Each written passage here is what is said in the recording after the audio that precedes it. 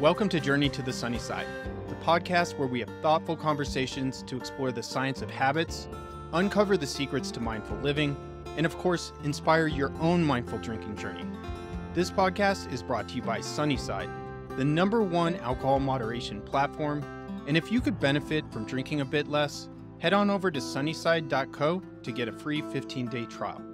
I'm your host, Mike Hardenbrook, published author, neuroscience enthusiast, and habit change expert. Hey, and welcome to another one of these 10 minute episodes. And today we're going to explore how science can help us lead healthier, more mindful lives. I'm your host, Mike Hardenbrook, and today we're going to dive into one of the most important chemicals in our brains when it comes to alcohol, and that is dopamine.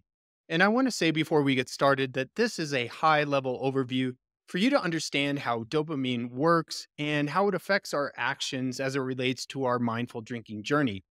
So let's start out with what is dopamine exactly? So, dopamine is what's known as a neurotransmitter.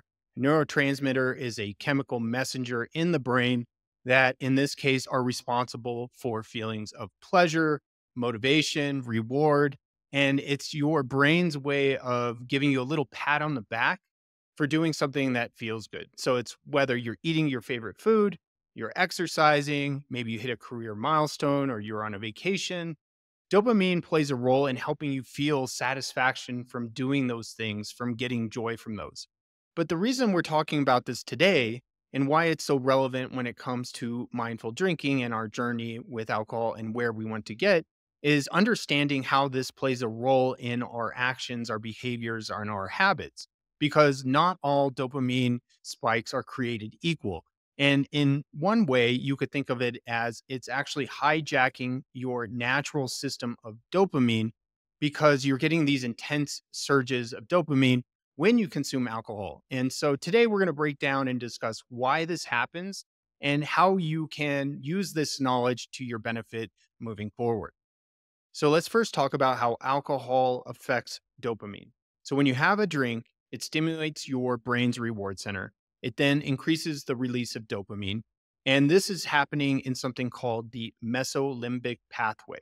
And that's the part of the brain that is wired to reinforce habits based on pleasurable outcomes. So if you're feeling relaxation or euphoria after you have a couple drinks after a tough day of work, your brain is basically saying, this feels good. Let's do it again. And so over time, the brain's going to start to expect this boost. And that's basically your shortcut to pleasure or relieving pain. And if you're going home and opening a bottle of wine after a hard day, or you're cracking a beer, or you're pouring yourself a cocktail, whatever your pleasure, the more you do that, the more your brain's going to become reliant on this artificial dopamine surge that you're getting by taking that action. So when we get these instant gratification, that's where it can get complicated. So let's go a step further and talk about how it can sort of hijack our natural dopamine system. So normal dopamine levels will fluctuate based on normal actions. And I say normal, and I just mean everyday life. We're talking about accomplishing something that you've been working hard towards. Where I mentioned this before, you have exercise. This is going to increase dopamine levels. Maybe you see somebody that you love or enjoy spending time with. It can even be something simple like having a piece of dark chocolate that's been known to increase dopamine levels. But alcohol forces the brain into this experience with dopamine that's this rush that's much higher than would occur from things that you do in your everyday, quote unquote, normal activities. And so over time, your brain can start to down regulate dopamine receptors. And basically, what this means is that you become less sensitive to natural sources of pleasure because of those spikes that you're getting from alcohol. And this is what I mean by hijack. A lot of people listening probably could relate to this is that think about going to a social event and saying there's not going to be alcohol there and just thinking, oh, I'm not going to have fun because there's not going to be anything to drink there or I'm not going to drink.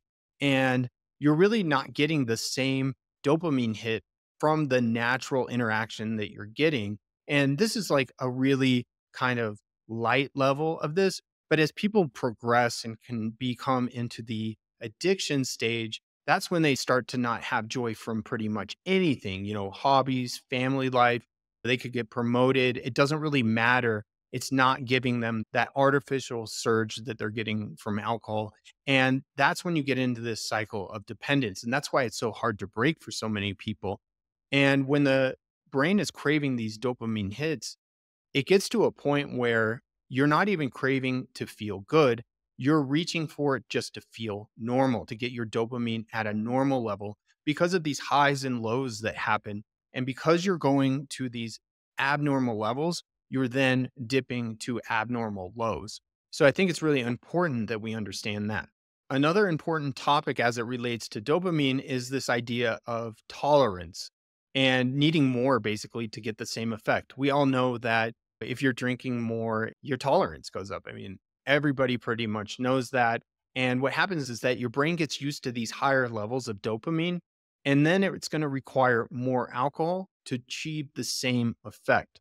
So, what started out maybe as one drink or two drinks to get a buzz or relax a little bit, it's going to take three or four. And then eventually it can just progress way beyond that. So, at that point, you potentially could be drinking not to get pleasure, but instead just feel normal and remove the discomfort that is happening from these lows that can happen with a drop in dopamine.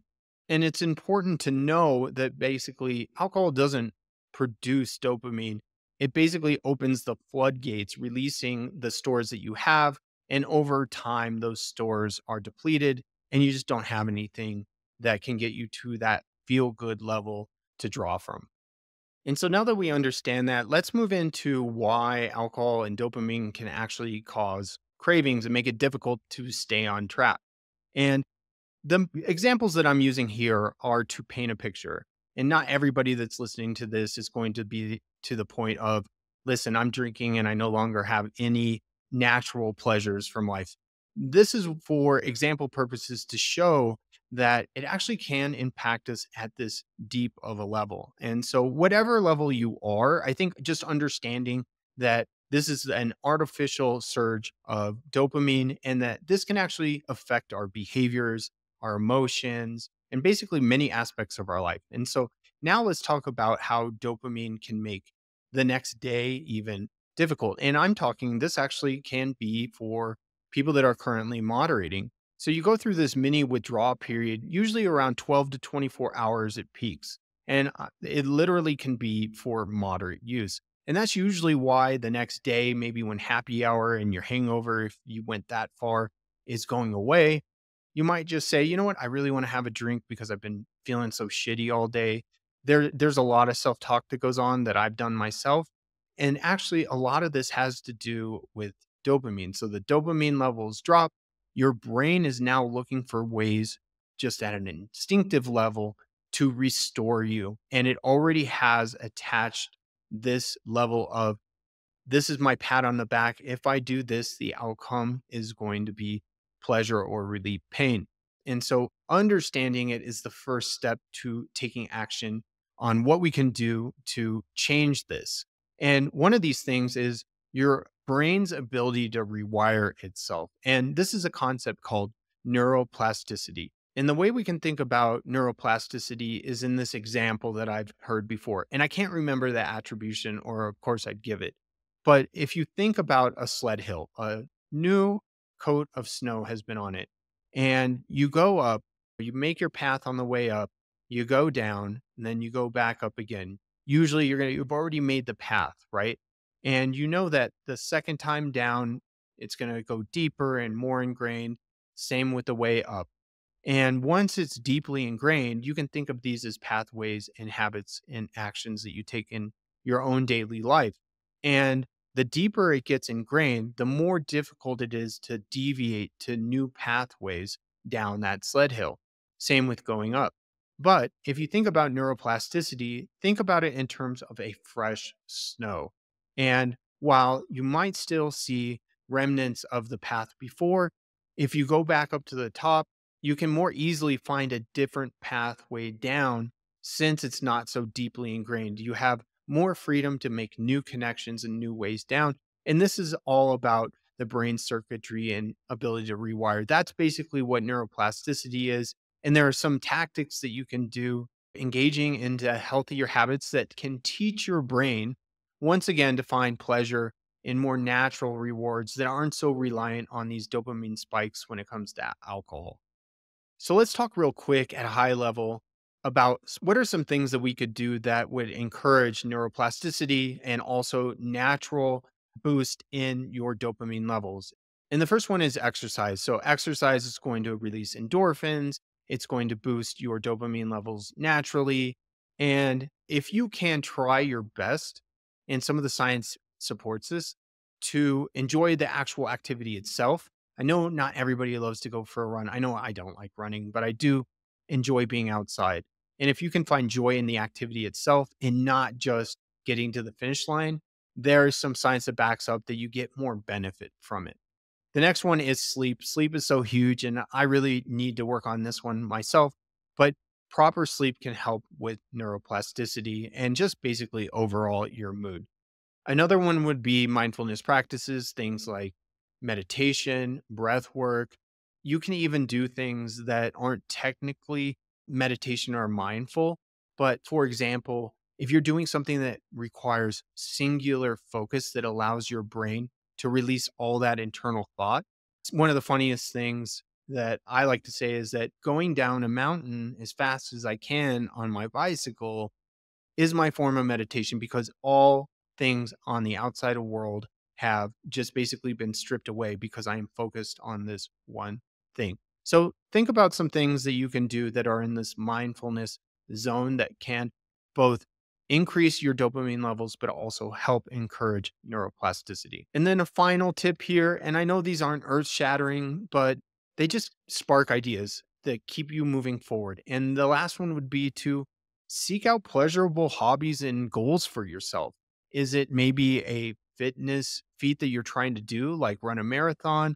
Is there picking up art? Is there, I've always wanted to ride a unicycle. And personally, I've actually always wanted to learn how to do backflip and I've yet to do that and I'm 45. So we'll see how that goes. I don't think that time is on my side, but just find something that you are determined or brings you joy or that's a challenge that is new. All these things are going to up dopamine and also the problem solving aspects will encourage neuroplasticity. So, going through all of this information, I think the thing I want you to really take away from is to understand how dopamine works as it relates to alcohol, and that maybe you can stop yourself within specific actions when you've maybe committed to something, but all of a sudden you're finding it difficult, let's say after work, and you realize, hey, listen, that's actually my brain and the dopamine telling me you're going to get pleasure or relieve pain from that.